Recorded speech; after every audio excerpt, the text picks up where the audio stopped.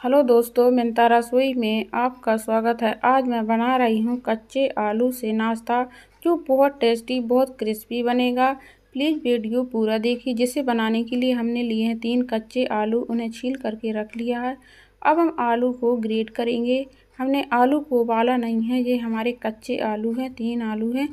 आज मैं अपने बेटे के जन्मदिन में ये सुबह सुबह नाश्ता बनाया था, क्योंकि आज मेरे बेटे का जन्मदिन था। तो ऐसा नाश्ता उसे बहुत पसंद है जो आलू से बने।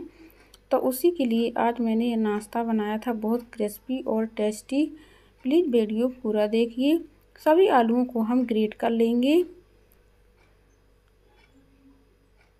ये आलू का नाश्ता बहुत क्रिस्पी बनता है। अंदर से सॉफ्ट और बाहर से क्रिस्पी बनेगा। और अगर अभी तक मेरा चैनल आपने सब्सक्राइब नहीं किया तो प्लीज़ मेरा चैनल सब्सक्राइब कीजिए।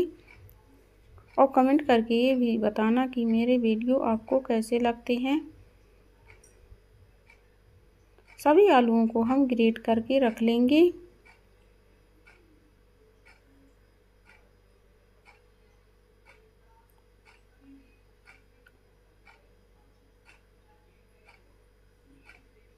ये नाश्ता बहुत जल्दी बन जाता है, बनाने में ज़्यादा टाइम नहीं लगता है, ना कोई तैयारी करना पड़ता है। अगर कुछ ना सूझे, आपको सुबह सुबह तो ये नाश्ता आप ज़रूर बनाना।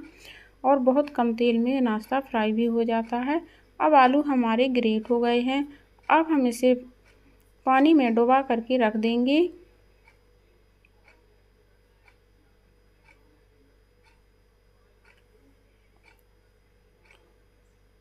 जिससे आलू का कलर ख़राब ना हो।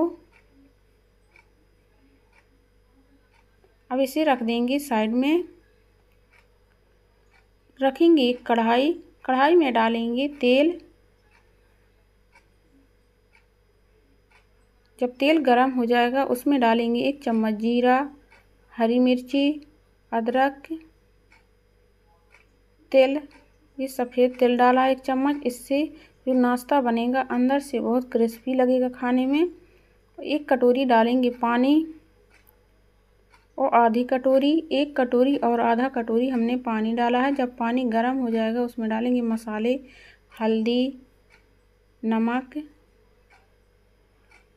और लाल मिर्च और धनिया।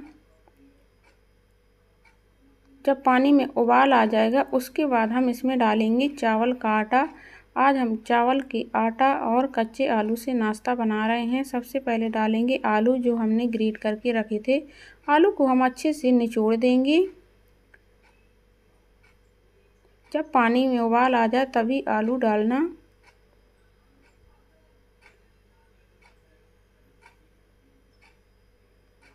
आलू को डाल करके हम एक मिनट तक पकाएँगे गर्म पानी में।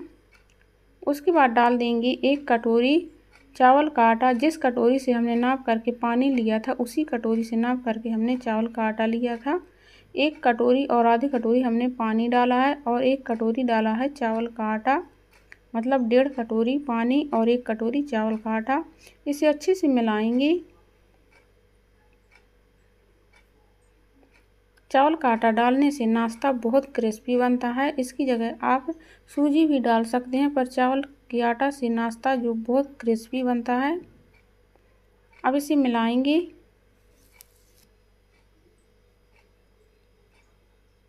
अब इसमें डालेंगे हम हरी धनिया पत्ती। इसे भी मिला देंगे।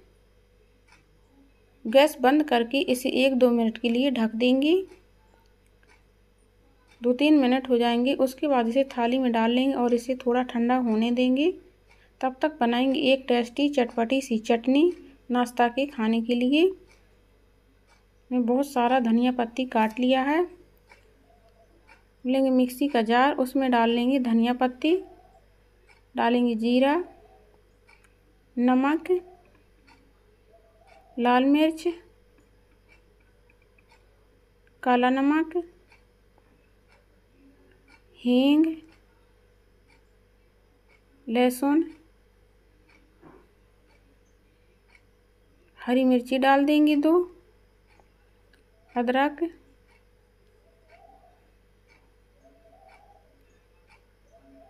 एक चम्मच डालेंगे, इसमें विनेगर दो चम्मच डालेंगे दही अगर आपको दही नहीं पसंद है तो इसकी जगह आप पानी डाल सकते हैं। थोड़ा सा पानी डाल करके बहुत अच्छी चटनी बन जाती है, बहुत टेस्टी। ले, हमारी चटनी पीसकर तैयार है, हरी चटनी, जो ये नाश्ता के साथ में बहुत अच्छी लगती है। हमारी चटनी बन गई है। अब हम जो आलू और चावल के आटा का बनाया था, उसका नाश्ता बना लेंगे। उसे अच्छे से मसलेंगे थोड़ा थोड़ा जब गर्म होगा तभी मसलेंगे, जिससे चावल का आटा अच्छे से सॉफ्ट हो जाए।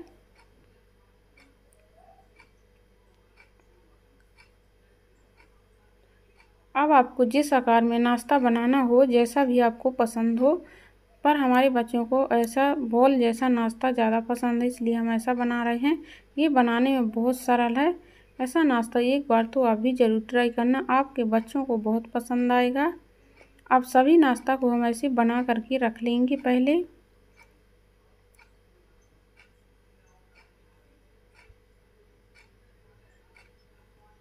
कितनी आराम से बन रहा है। कोई इसमें बनाने में कोई परेशानी नहीं आ रही है, देखो। आलू और चावल का आटा अच्छे से पक गया है।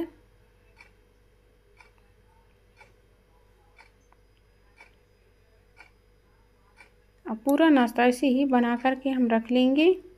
अब हमारा नाश्ता बन गया है। अब हम रखेंगे कढ़ाई, तेल गरम कर लेंगे। जब तेल गरम हो जाएगा, उसमें हम ये नाश्ता को फ्राई करेंगे। इस नाश्ता को फ्राई करने में बिल्कुल तेल नहीं लगता है ज़्यादा, क्योंकि ये नाश्ता पहले से अंदर से पका हुआ है और गैस को हम मीडियम करके तलेंगे। जितनी ज़्यादा गैस को मीडियम करके तलेंगे, उतना ही नाश्ता हमारा अंदर से और बाहर से अच्छे से क्रिस्पी होगा। इसे अलट पलट करके अच्छे से तलेंगे।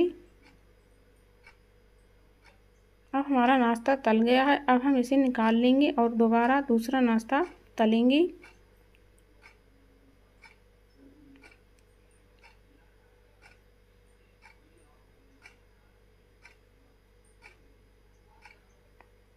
अब देखो कच्चे आलू से कितना ज़्यादा टेस्टी नाश्ता बनता है। अब हम दूसरी बार भी तल लिया जो हमारा नाश्ता बचा था। इसे आप सॉस या चटनी के साथ परोसिए, क्योंकि मेरे बेटे छोटे हैं तो इसलिए उन्हें सॉस के साथ खाना ज़्यादा पसंद है। पर अगर बड़े हैं तो उसे आप जो हमने चटनी बनाई, उसी चटनी के साथ परोसना। देखो, हमारा नाश्ता बन गया है, अब हम परोस देंगे। इस नाश्ता को आप गर्मा गर्म एंजॉय कीजिए और एक बार तो ज़रूर ट्राई करना।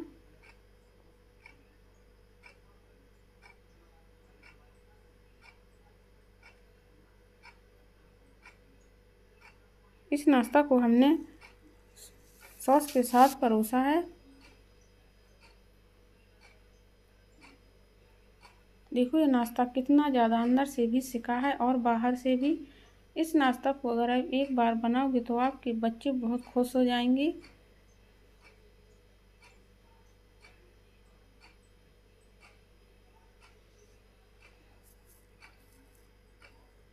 हमारा आलू और चावल के आटा का नाश्ता बनकर तैयार है।